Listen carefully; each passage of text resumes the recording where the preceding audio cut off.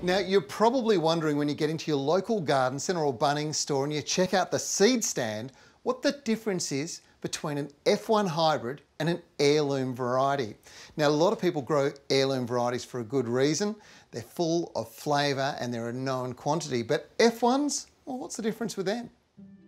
In essence, heirloom varieties are typically unusual shaped, size and coloured fruit.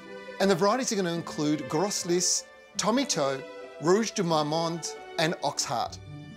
They generally produce a good crop, but not a lot of fruit, where F1 hybrids are varieties like Sun Gold and Crimson Crush, or even Sweet Millions. Right now, you're going to be grabbing seed from your local garden centre and Bunnings store. Fothergill Seeds have a website that'll show you the step-by-step -step way to enjoy success growing seeds at home.